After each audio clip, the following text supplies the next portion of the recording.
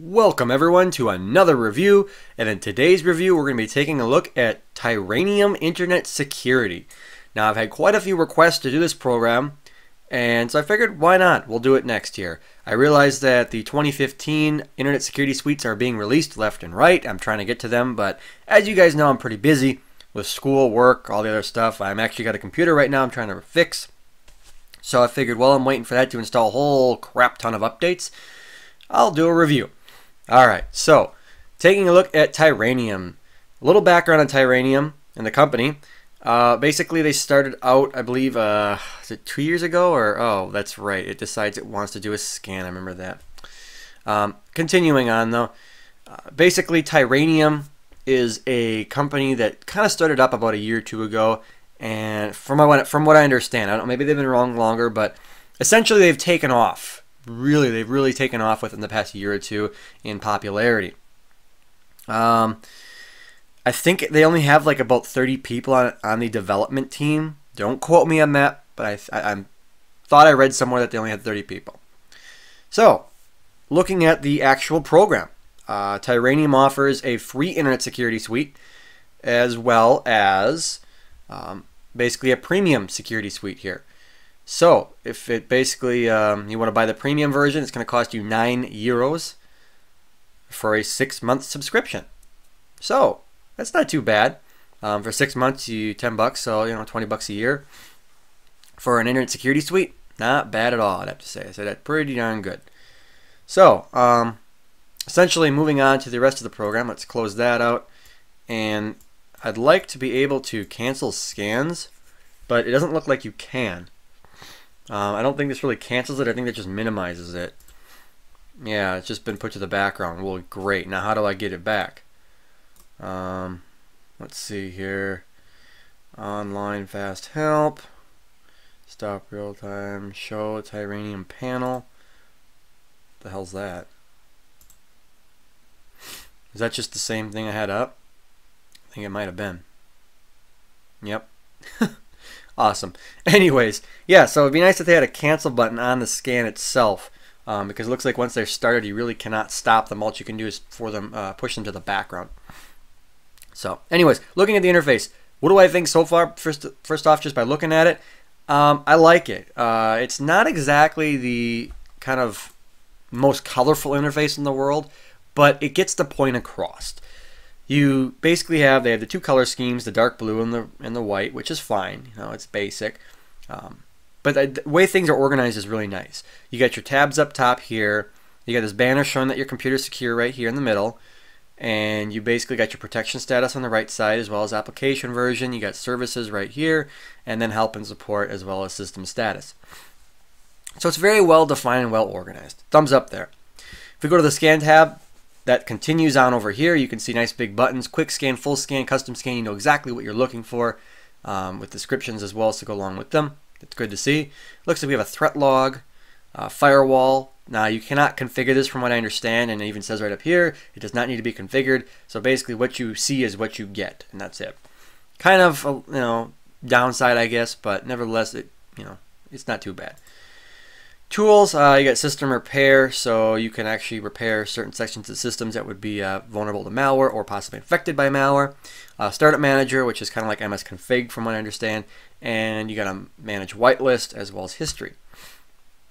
Uh, settings, they have hotkeys in this, which is kind of nice. It's a good feature of the program.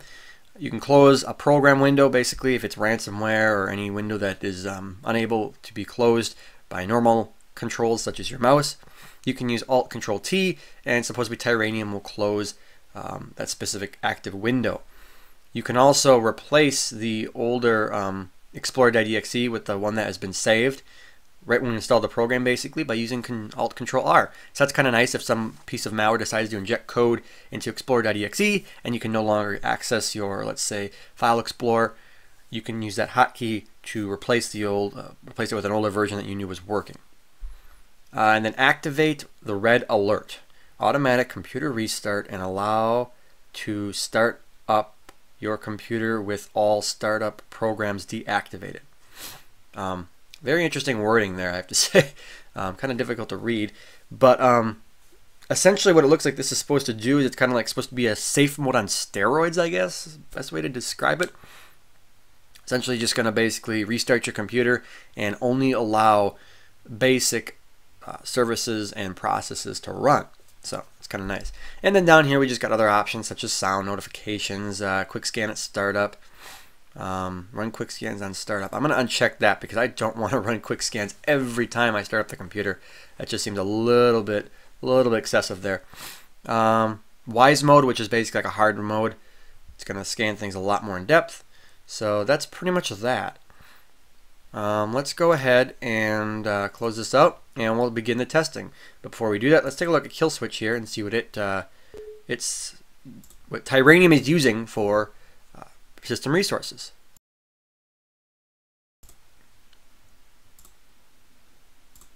Okay. So let's get, get the parent, um, performance graph. Oh, if I can talk today. And let's see what we got going here. I was going to hide save processes, but I don't know what I'm doing. All right, so Tiranium, where are you? Uh, Tiranium, Tiranium. There it is, Tiranium Guard. And I think that's the only process that it uses. Yeah, it looks like that's the only one. And essentially it's using, let's see, 14, I think it saw that one, 18. Okay, so it's using, it topped out around, looks like 18 meg, which is really good for Internet Security Suite, I have to say. Um, however, it is using a little bit in the way of CPU, even sitting here idle. Um, it could be because it's trying to scan uh, kill switch here, but not a lot. The system still feels really responsive, so I'm going to give it kind of the system responsiveness score. Okay. Now, I don't know why I closed kill switch. Jeez. I need you, kill switch. Okay, let's open kill switch up. Put that over there. This goes over here. Okay, you go there, you go there, and I go to favorites. All right, uh, so let's begin the test. Tiranium, as you can see, is fully operational. Now let me put the icon here so we can actually see it. What's going on? Okay, so real-time protection is enabled. No scans running. All right, let's begin. All right, now they don't really have a lot in the way of. Oh, I guess they do have some. Okay. Um, where is this? Is 18, 18. Okay, so this is all basically from today. Sweet. But these are all the same URL. So we'll do like one of these and then we'll move on to something else. So first link. Link number one.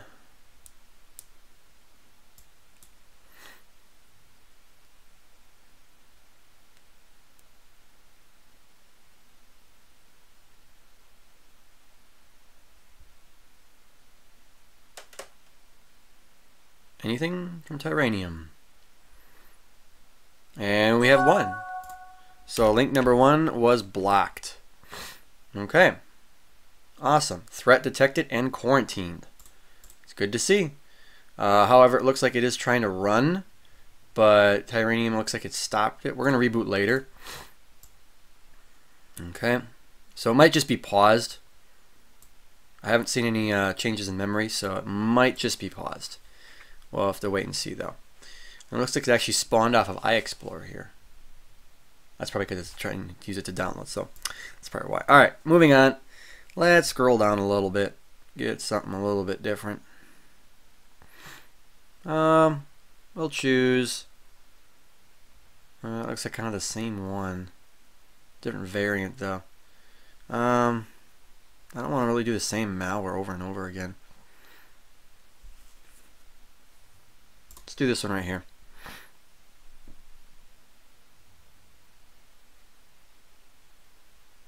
Maybe not. Looks like my web browser has frozen. Awesome. I guess we'll just open up a new browser. Probably because, um, yeah, well, that makes sense because Tiranium stopped that threat, and of course it's a um, child process here of iExplore, which I am currently trying to use. Awesome. Alright, oh, there we go. Now it's responding again. Well, that took forever. Alright, well, let's just run that. Wings. Well, I like wings, so I'm going to download some wings. Get me some wings. All right. Remote admin. Yeah, well that does not sound like it'd be good. Let's download that one.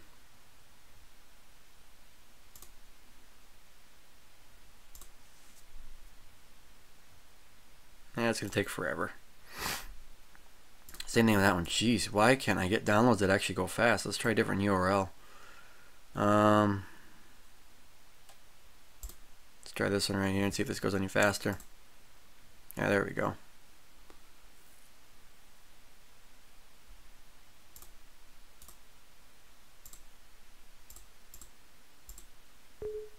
I'm going to run this one. Uh, it appears as if this one's running. This could be a false positive though. Oh. It looks like uh, it's bundled with some adware and Tiranium has blocked it. So, um, while this is a legitimate program, it's somewhat, uh, looks like it's bundled with some adware. So that's good to see that uh, uh Tiranium stopped it. So, count that one as blocked. And um, I probably should actually continue. We'll do that with the next one. Continue with the installer to see if it's actually capable of installing it on the system because you can see it's still paused here in the background. This is link number three. Tiranium stopped that one. All right, link number four. Number four. Let's try this one. It's supposed to be an unwanted program, so it looks like it might be adware. Adware typically is very hard for antivirus programs and anti-malware solutions to uh, to capture. So, so far it looks like it's doing really good. Really impressed.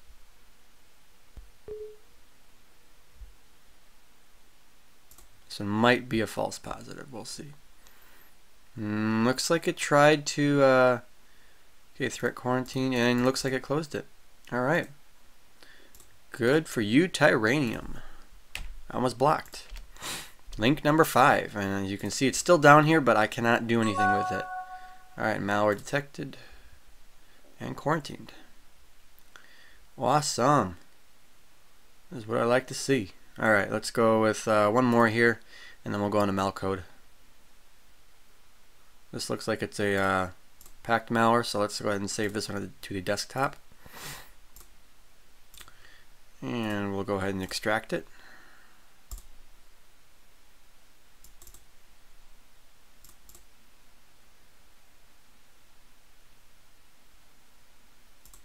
Nothing from Tiranium yet. It also may be a false positive. That happens quite a bit. Okay, let's um, close that out. I don't want that, don't want that open anymore. Okay, and let's see if we can close that out. Uh, looks like we're getting a bunch of detections here. Interesting. So there might be something actually that is running on the system. And it has not been stopped. We have a couple setups down here I cannot move, so looks like Tiranium is almost trying to block them, but it's not. Very interesting. Okay, let's move on to something else here, different source. Go to malcode. That one's dead.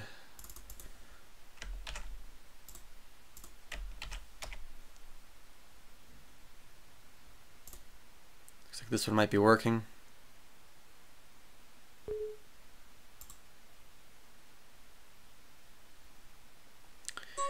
And it looks as if maybe Tiranium has blocked that one. Um, no, it looks like it might be something else.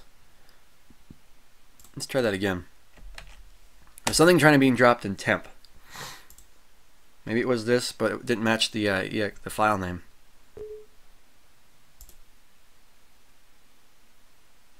Okay, I'll count it as that one. All right, blocked. Too much of a coincidence to be a different uh, alert. So, all right. Um, moving on. Let's try. We'll go with. Eh, to do that one. Yeah. What the heck? We'll do this one. I don't even know what it is. I don't know if it'll work, but we'll try it. Don't even know. Yeah, that's figured. Whatever. Let's do this one then. Windows Media Player 18. well, um, considering there is no Windows Media Player 18. Okay, now what's going on here? Why is this not working? There we go. Windows Media Player 18. Well, if you're going to download Windows Media Player 18, you might as well just say, oh, it's the same one. Jeez.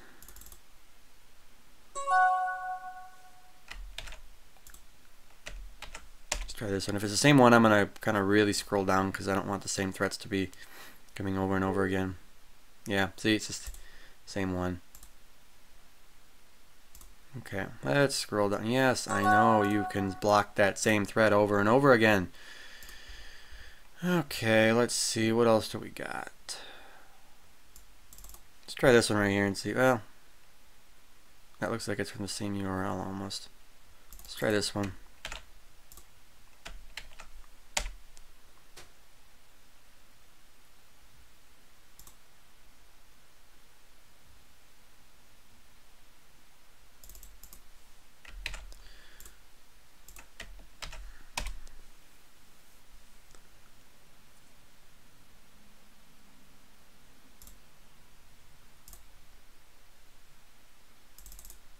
Hopefully this isn't the same one that we've just been getting. Something tells me it is. If it's going to work. Did something kill my internet?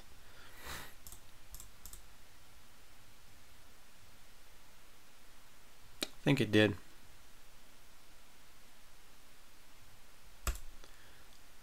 Son of a mother duck. Alright, let's um I'm gonna go ahead and what am I gonna do here? What am I gonna do? do, do, do. Let me go ahead and unplug the network card here.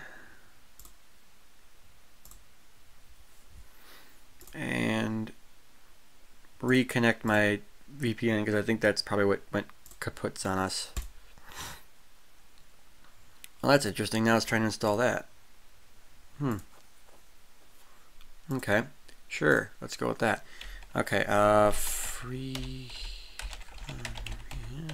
and password.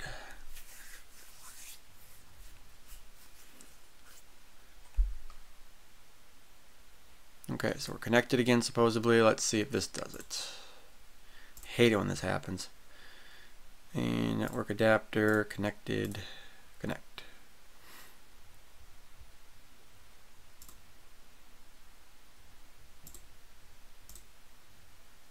There we go. So now we got internet again.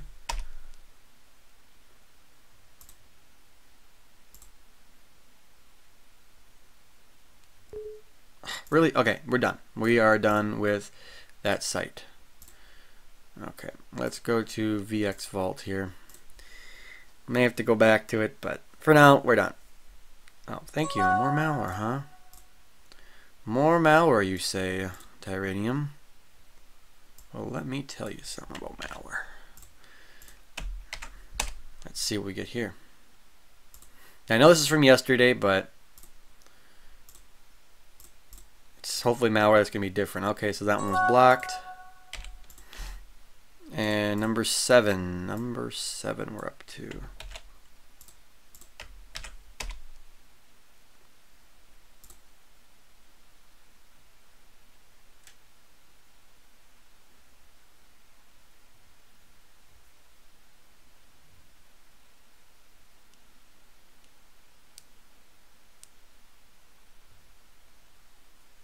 Could harm your computer, you say. Well, maybe I just want to live on the edge and run it anyways.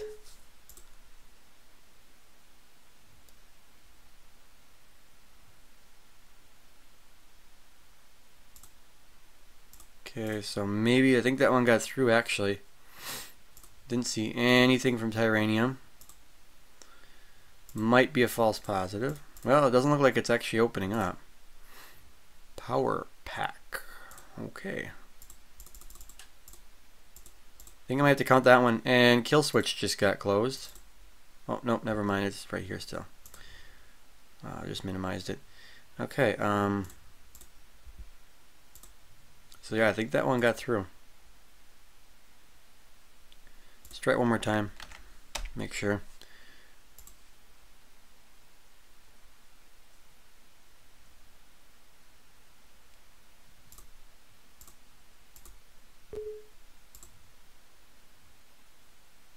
Yep, nothing from Tiranium.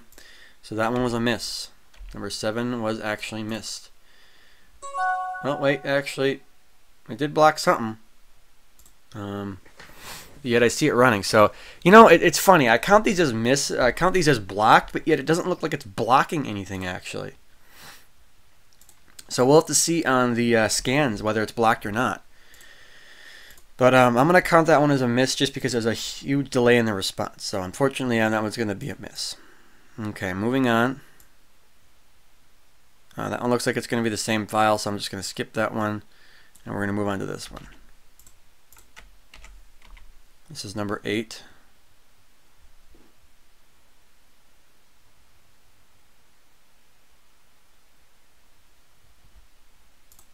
Oh, if something killed my, if it, my internet just went out again, I'm gonna be so mad. Oh my, god you gotta be kidding me. Probably because it's transmitting so much data, it's just killing my VPN and they're timing out my connection. Jeez. I tell you, this test is really going to shit now. No, I don't want that. Okay. Let me try a different server here. Obviously that one's not working.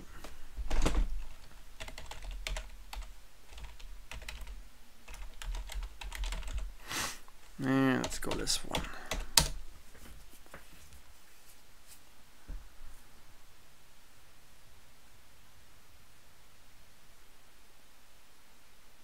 Okay, and let's reconnect.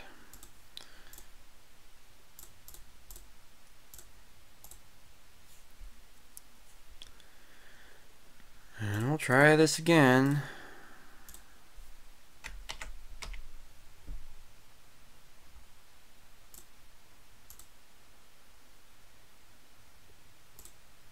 Okay, here we go. This looks like it's some sort of a screensaver, and hopefully, hopefully I do not have to edit this video. It would be really bad if I did. Okay, oh dear. Run anyways. Nothing from Tiranium yet.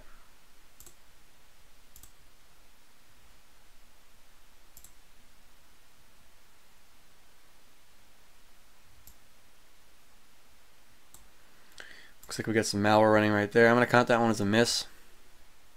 Because there's nothing from Tiranium. I know it was a screensaver, but still nothing from it. So, moving on.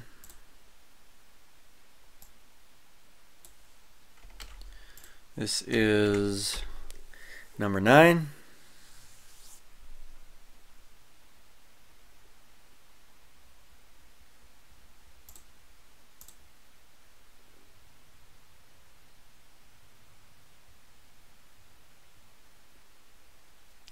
Yeah, I don't really know what keeps killing my internet here. But obviously something is is interfering with it. So I think I'm going to reboot the computer. And um, this test is pretty much pretty much done. I mean, we got malware that's running on the system. Well, it may be isolated to the point where it can't do any more damage. Um, the system is now becoming almost unusable, as you can see. I mean, I have I have no internet, in a sense, and it keeps killing my VPN because of that. So what I'm going to do now is I'm going to reboot the computer and once the computer is rebooted then we're going to try and attempt to do the zero day analysis portion of the test here. So let me go ahead, restart it, try and clear all those threats and once that's done I will be right back guys. Alright, welcome back. The scans have finished and if you've looked at the time it's been quite a long time. I don't even know how long it's been since I have uh, started those scans and have recorded here. But nevertheless, let's see what uh, Tiranium has found. And as you can see up here, Tiranium antivirus has found no threats. And I believe I already showed you the fact that there are no threats actually running on the system here. Um, you can see that it'll show all processes. Uh, from what I can understand and from what I can see, there are in fact no threats running, which is really good. Um, and taking a look at Comodo, Comodo has actually not found anything. These programs right here, or these files and registry keys, are part of Tiranium. So these are actually kind of a false, these are actually false positive. So um, Comodo has found nothing in a sense. Taking a look at Malwarebytes, Um, Malwarebytes, while this looks bad, this is actually not bad at all. You can see where it says quarantine right here. These are actually um, files that are being quarantined by Tiranium. So obviously they do not um, encrypt their files, or um, or maybe they do, but obviously somehow the way they handle their infections, Malwarebytes is still able to uh, detect them through the encryption, or not the encryption, through the quarantining process, or through the quarantine itself. Would like to see that improved, but at least it's quarantined. From what I understand, it should not be able to um, infect the system any further. And you can see all these are basically quarantine, quarantine, quarantine. Nothing to worry about. And if we scroll down here, same thing, nothing to worry about. There is a potential unwanted modification. A disabled looks like security center, from what I can understand. And I believe that is Tiranium once again, who has disabled the security center because I don't think Tiranium is recognized by the Windows um, security center. So essentially, you would be constantly getting alerts.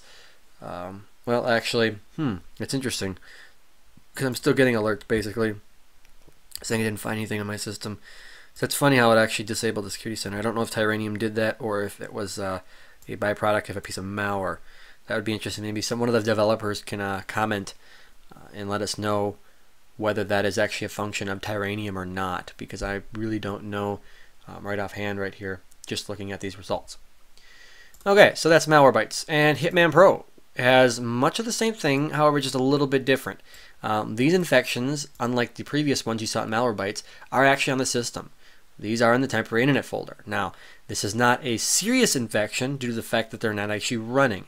And typically, you don't have any temporary internet files that execute automatically unless you were to execute them yourself. So, they're fine right now, but nevertheless, they are malware and they are sitting in the system, and you could run them by simply navigating to this file location and executing that specific file. Um, would like to see those get removed. These are all processes. Now, these are all files that Tiranium stated that had quarantined. If you've watched my previous um, uh, part to this, I keep calling it previous part, but it's been so long. Uh, it's been like six hours, I believe, since I've last recorded this first part. Um, and I'll get to that in just a minute. But um, yeah, nevertheless, I'd like to see this get improved to the point where they can actually remove the threats instead of just letting them on the system. But if you were to use, uh, basically delete your temporary init files, these would all have gone away. Uh, these right down here, these are Tiranium itself. Tiranium is listed as a Trojan. That's very interesting how Bitdefender and Comodo have listed Tiranium as a Trojan. Um, once again, maybe one of the developer, developers can explain why these AV companies are listing them as a piece of malware or something as malicious.